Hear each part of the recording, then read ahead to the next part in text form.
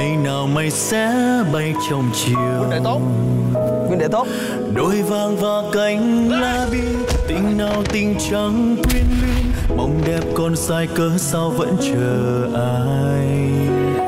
Hoa nào hoa thơm nhưng dở dang sông nào sông sẽ trôi xa ngàn. Bên sông và ngọn gió lớn ngàn trùng mịt mù sông nước tình nào là tình để mình còn đợi mong? Gió cuốn hoa trôi về đâu em biết không? Sáng sớm có em chờ cơn mưa sáng hồng. Chiếc lá úa trong mùa đông, nước mắt có khi đục trong. Biết nói chi thế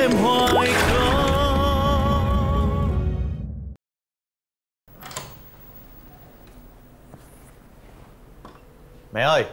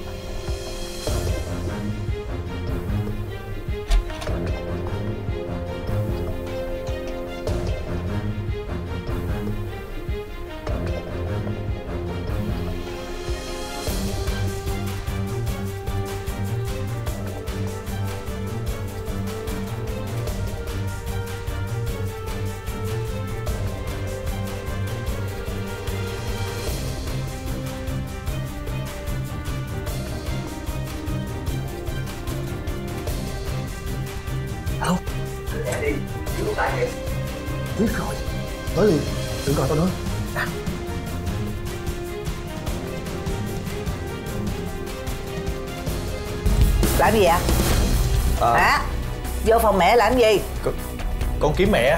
Con kiếm mẹ? Dạ. con kiếm mẹ mà vô tới nơi đóng cửa phòng lại lăn kiếm mẹ hả? Giấu gì vậy? Hả? Không có giấu gì đâu. Cái gì vậy mẹ? Mẹ! Mẹ! Không Sao không có với dấu gì mẹ đâu. Hả? mày tưởng là mẹ không biết mày là gì hả? Mẹ mẹ mẹ! Mẹ! Mày ăn cắp tiền của mẹ hả? Mày mày ăn cắp tiền của mẹ hả trời ơi là trời. Thanh ơi là thanh. Một tuần mẹ báo cháy cho con đi đá gà hai lần rồi. Con chưa vừa lòng vừa dạ bây giờ tại sao con cắp tiền của mẹ? Hả? Thì vì sao? con đã gà thua quá Phải kiếm đường gỡ chứ mẹ tại sao không lo làm ăn mà tối ngày con hư hỏng vậy. Con bao nhiêu Mẹ. tuổi đậu rồi? Mà tối ngày con chỉ biết đá gà không là sao? Hả Hả? nhỏ thôi bà nội nghe Mẹ. Trời ơi tức chết ra bây giờ mày không bao che con nữa. Còn mấy con gà chí con gà nào của con hả? Mày bẻ đầu mày bẻ cổ nó cho con coi. Rồi hư hỏng Mẹ. luôn à. Trời ơi là trời Bẻ đầu cái gì mà bẻ đầu? Bẻ đầu. Cái gì? Bể đâu Ui chết rồi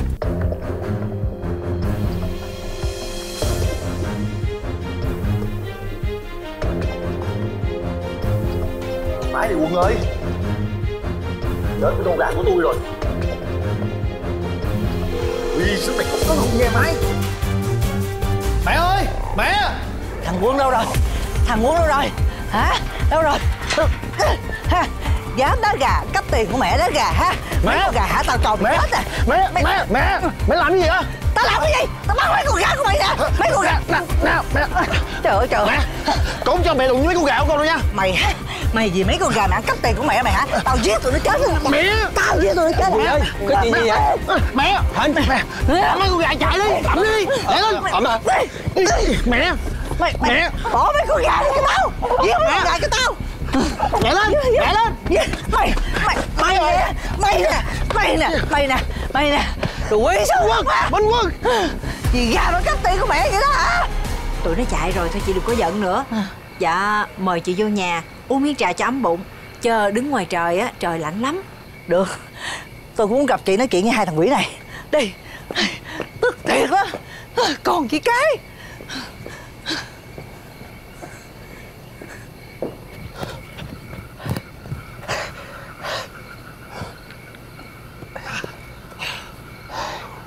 Quỷ.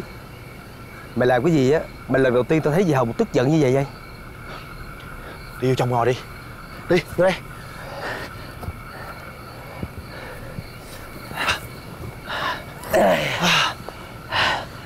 Không sao đâu.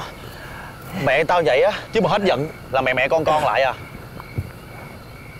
Nhưng mà vụ gì?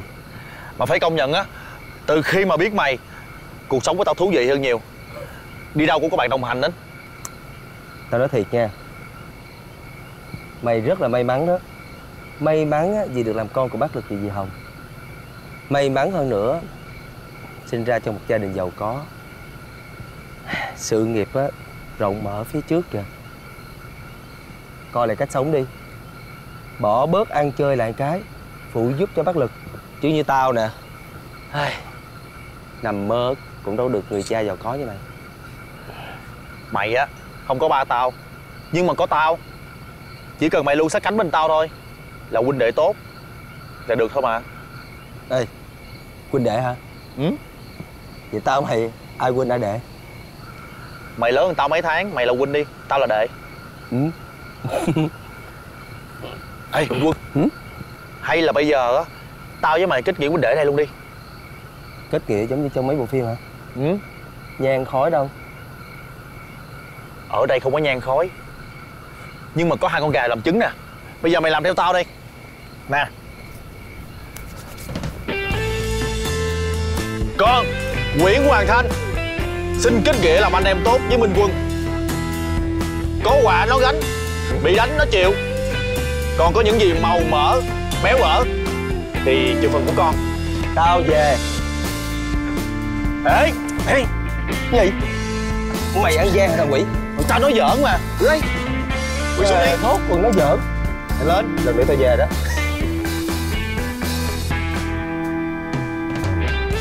Tụi con. Minh Quân hoàng thanh Tụi con xin hứa Kể từ ngày hôm nay Tụi con sẽ là huynh đệ tốt với nhau. Kể từ bây giờ minh quân sẽ là anh em tốt của con. Con sẽ không bao giờ để minh quân chịu thiệt thòi. Xin thề. Xin thề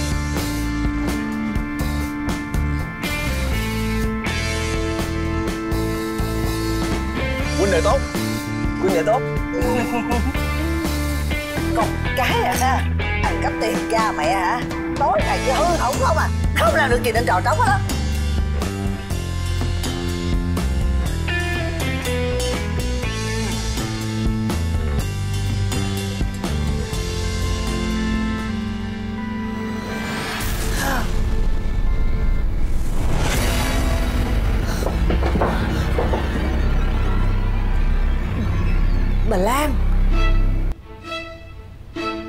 Hồng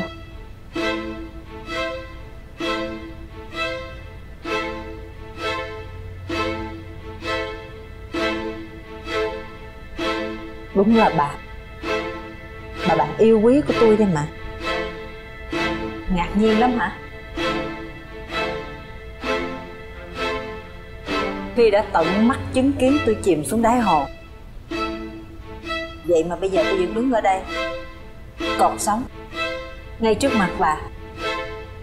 Bàng hoàng lắm phải không Lan Lan nói gì kỳ vậy? Thật sự là tôi không biết bơi Cho nên tôi không thể nào cứu Lan được mà.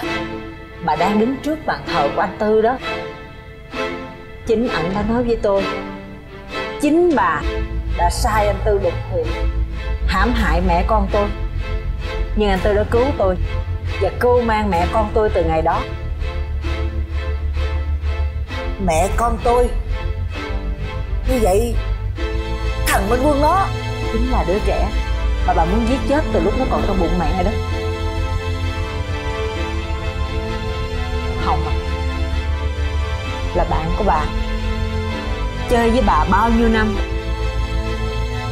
Tôi biết hết tất cả những trò bà làm cho tôi. Nhưng tôi không bao giờ nói ra. Bởi vì cái ơn bà cho tôi mượn tiền để cứu mẹ nó lớn lắm. Trong quán có ơn. Trong ơn có quán. Và đối với tôi, Cái ơn cứu mẹ, Nó lớn hơn cái quán kia gấp nhiều lần. Và tôi không bao giờ trách nhất những gì bà đã gây ra cho tôi. Cho đến khi Bà ra tay giết chết tôi và đứa con ở trong bụng, Tôi quyết định là sẽ không tha thứ cho bà nữa ra bao nhiêu năm qua. Tôi vẫn mong muốn có cơ hội đi gặp bà, Để hỏi tội bà. Nhưng chỉ có điều, Tôi không ngờ cơ hội lại đến đột ngột Và không lời trước như vậy. Bất ngờ quá, phải không? Bà cứng cỏi hơn xưa đó. Nhưng mà bà Lan nè, Bà còn nhớ cái giấy nợ của bà không? So với những gì bà đã làm với tôi và đứa con trong bụng, Thì cái giấy nợ đó chẳng có giá trị gì hết. Bà tính đem giấy nợ đó ra để làm gì? Hả? Vậy chứ bà muốn làm cái gì? Sao cái cuộc gặp gỡ không mong muốn này? Bà đang muốn cái gì. Em chưa biết nữa.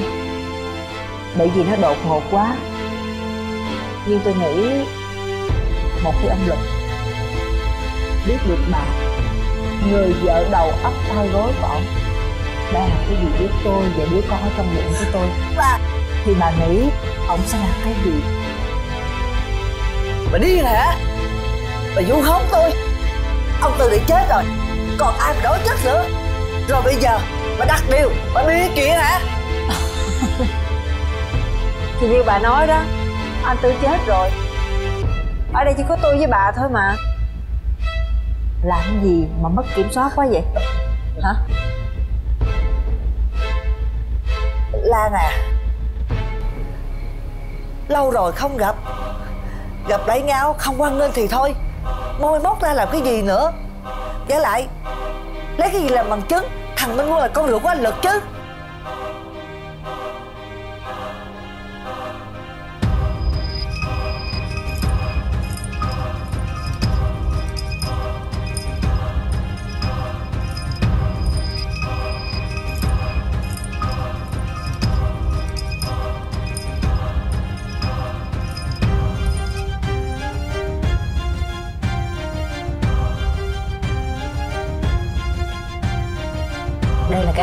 Cái răng của thằng Minh Quân.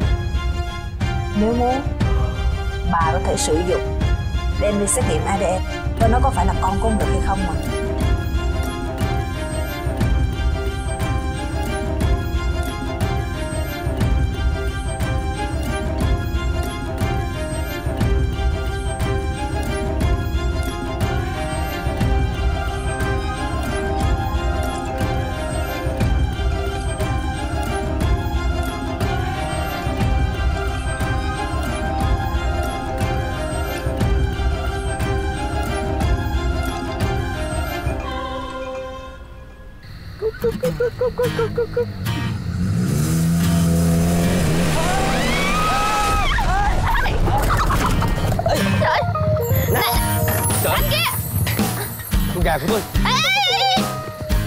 Đứng lại đây. Đứng lại đó. Cô làm cái gì vậy? Anh tính chạy đâu vậy hả? Trời ơi. Nè Đường tối như vậy á Sao mặc cái màu gì đó là nổi nổi đi. Áo gì đâu mà xám xịt vậy hả? Xanh đỏ tím vàng này không mặc. Làm Cô sao mà sẽ hả? thấy được? Tối vậy á bắt tôi đội nguyên cái đèn giao thông như người hả? Tôi chưa nói cô kìa. Con gái á đi chạy mô tô Bật đèn pha nữa. Cô biết làm chói mắt người đi ngược lại không? Ờ, Thì tại vì tôi thấy Ở đây là đường tối vắng nè Đâu có ai đi đâu Thì tôi bật đèn pha cho dễ thấy đường thôi biết đâu. Vắng chưa chắc là không có người đi nha Tôi đi nè. Ờ. Ê ê ê. Nè. Nè nè nè bỏ ra bỏ ra nè nè nè nè. Từ từ nghe Đêm hôm khuya khoắt Đừng có sàm sỡ tôi nghe. Tôi nè. Tôi nè. Gì vậy? Nhận đâu? Ờ. Túi Là cô. Người lạ thì tôi bỏ qua nha. Người quen ở tôi bắt đền Bắt đền tôi á hả? Hai gà tôi là Trời ơi. Vậy? Phụ bắt tôi À, nè, nè. Đây, đây, đây, Đây, đây.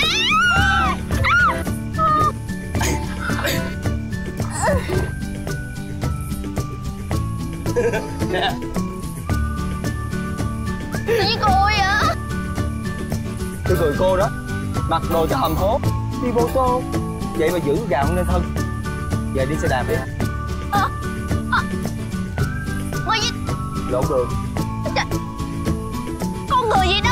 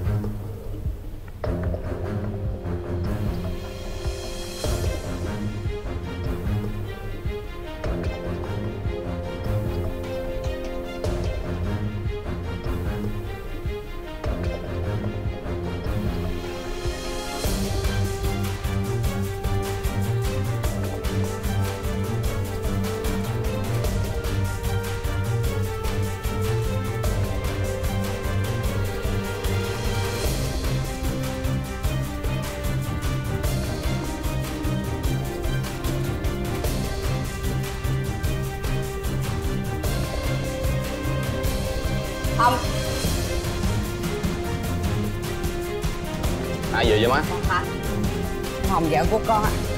Nó làm gì nó, nó chạy về nó hớt hớt hải. Nó chạy vô cái rẹt con nó chạy ra cái rộng ta không biết làm sao hết trời. Con ơi Dạ. con kêu điện thoại con hỏi thăm con nó làm sao con. Hôm nay vợ con sao á? Ừ. Con gọi điện cũng không nghe máy nữa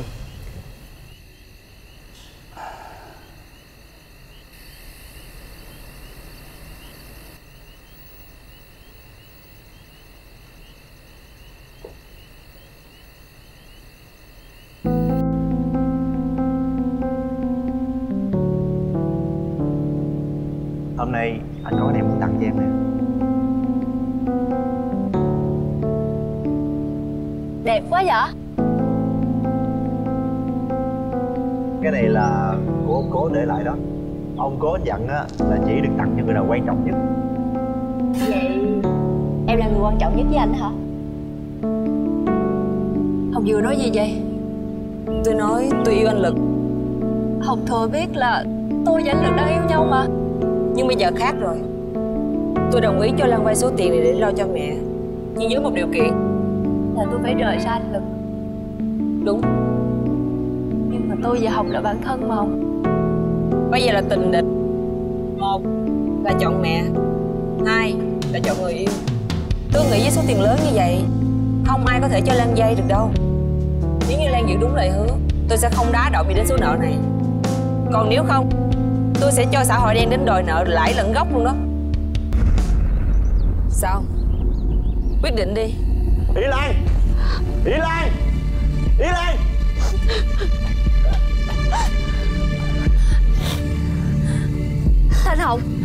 Hồng bị làm sao vậy?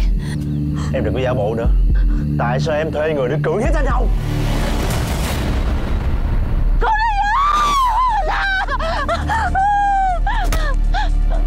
Tại sao? Mày dám làm như vậy hả? Tôi không cố ý, con người nhớ tôi. Cái gì? Ai? Là ai hả? Tôi, tôi, tôi không thể nói. Nói mau Mày nói mau. Ai? Là của Y Lan. Cô nói sao Cô có thai với anh Lực. Phải. Tôi không thể nào sinh con tôi ra mà không có cha được.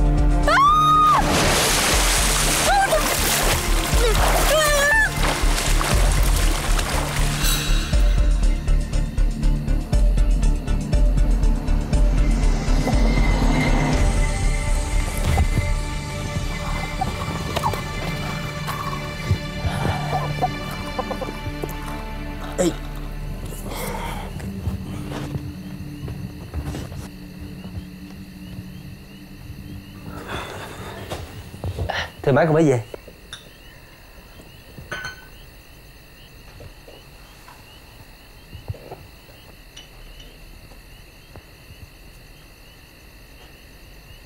Má.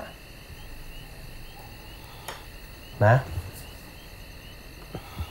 Má khóc hả? Có chuyện gì vậy má?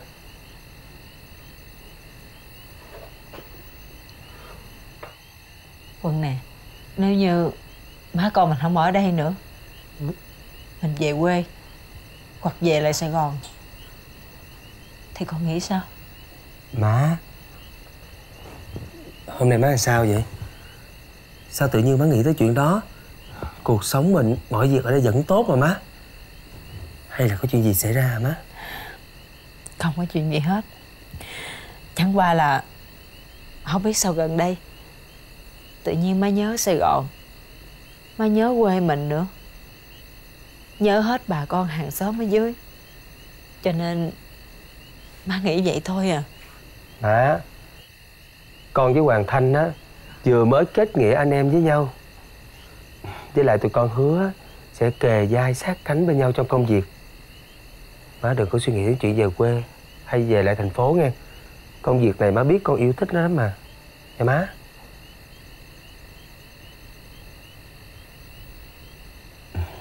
Má hứa rồi đó. Giờ không suy nghĩ lung tung nữa. Má vô ngủ đi, Ngày mai còn đi bán nữa.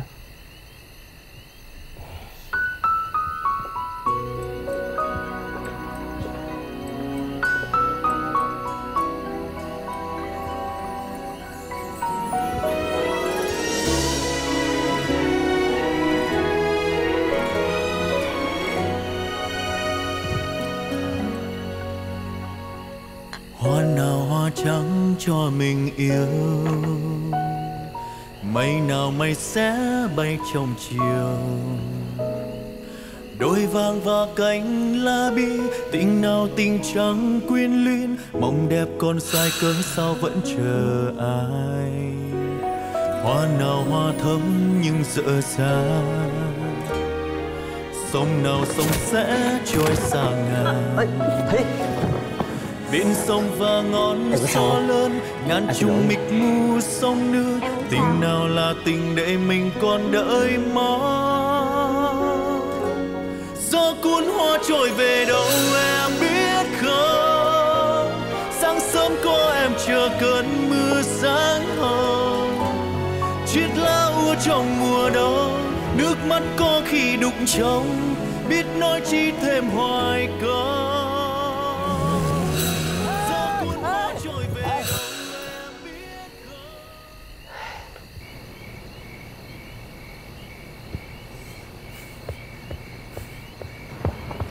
Ê bà. Trời ơi Lâu nay á tôi với bà không gặp nhau. Này bà có chuyện gì gấp mà bà gặp tôi vậy? Thôi thôi thôi thôi cái chuyện đó bà đừng nhắc tới nữa. Tôi cần bà giúp đỡ cho tôi cái chuyện này nè.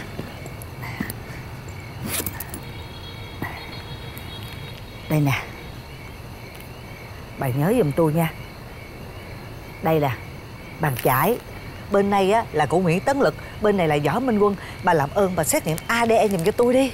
Ủa mà sao bà nhờ tôi làm chuyện này cho bà Từ từ rồi tôi sẽ giải thích với bà sau. Làm càng sớm càng tốt. Rồi rồi rồi được rồi. Ờ.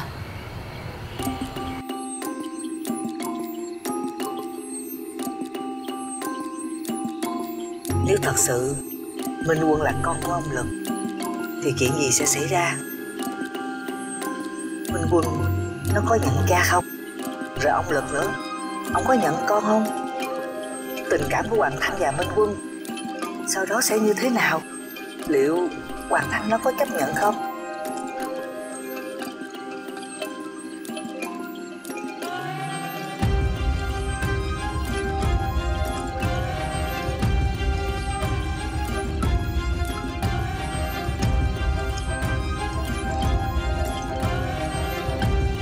mọi thứ đáng lẽ chỉ để cho Hoàng Thanh và Hoàng Thiện. Nếu bây giờ ông Lực có thêm một đứa con riêng, mọi thứ chắc chắn sẽ thay đổi. Còn quá khứ của mình nữa, nếu để ông Lực biết được mọi chuyện,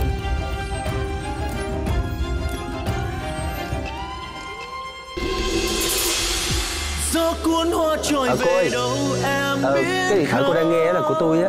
Sáng sớm có em chờ cơn mưa sáng hồng. Chiếc lá trong mùa đông